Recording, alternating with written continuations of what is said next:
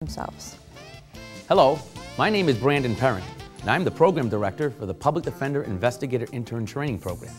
I'd like to take a minute to explain the program and how it benefits our clients and the community. The Investigator Intern Program was developed in 1994 with the support and cooperation of your public defender, Diamond Litty. She recognized the need for quality investigative services to support the representation of our clients. The program is an award-winning and nationally recognized application of investigative training and support on behalf of those who desperately need quality representation.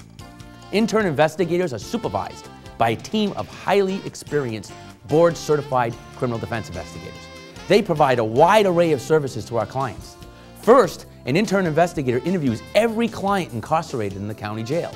The objective is to process the clients into our system as quickly as possible, as well as document information and leads that will assist their lawyers with representation. The interns are available at the request of the legal staff to conduct investigations in pursuit of facts and evidence that will support their efforts. In closing, let me add that the program has saved the taxpayers hundreds of thousands of dollars and trained some of the best investigators in the state of Florida. Thank you.